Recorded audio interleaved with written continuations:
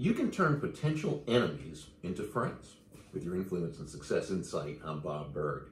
The following incident took place several years ago, and if I may, I'd like to share it with you. Turning into the parking lot of a local hotel and then turning into the parking space, I wasn't paying attention as I should have been. As a result, I nearly clipped a guy as he was getting out the driver's side of his car.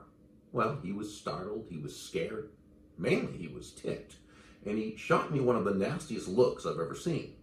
I'm not saying I blame him, and certainly not judging him. It was my fault. And different people handle different stimuli in different ways. He was angry. I mean, his face was really covered with pure ugly. And I knew at that point I had a choice. And the good news is we pretty much always have a choice. I could have reacted to his reaction, right? I could have given him a nasty look. What are you looking at? He'd have said, watch where you're going. And I'd have said, you watch where you're going, and back and forth. And have you ever noticed those situations rarely turn out well? I mean, at best, it's upsetting, and at worst, seems like especially these days, it could be downright dangerous. You've heard of road rage? Perhaps this would be parking lot rage. I don't know. But I do know that if at all possible, I don't want to have anything to do with a situation like that, and you probably don't either. Why would you?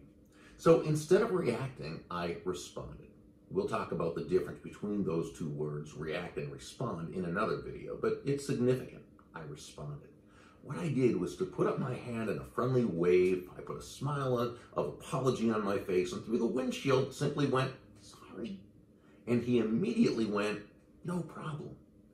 Now, as he went into the hotel, I'm fiddling around with the papers in my front seat.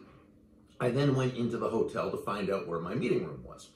As I'm walking to my meeting room, he's standing with a few people outside of what apparently was his meeting room. I hadn't expected to see him again, but as soon as I realized we were probably going to make eye contact, I prepared to say, Hey, I'm really sorry, I should have been paying more attention.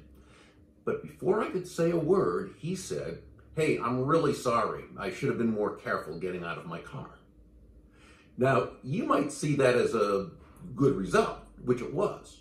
More importantly, though, it was also actually a very predictable result based on a number of factors. Let's look at what we're really talking about in the next video. With your influence and success insight, I'm Bob Burg. Make it a great day.